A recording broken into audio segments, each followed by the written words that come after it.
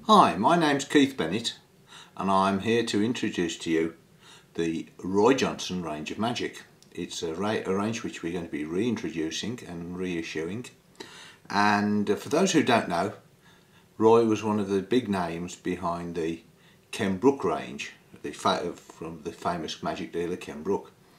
Uh, Roy was an excellent inventor, routiner and creator of magic and in this first DVD we're going to show you a trick of his called Snap. Uh, so let's get down to it. It's a trick with a blank piece of paper. You can show the paper, it's blank on that side, blank on this side.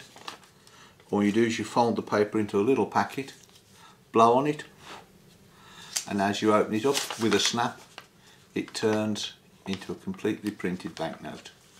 And that is Snap.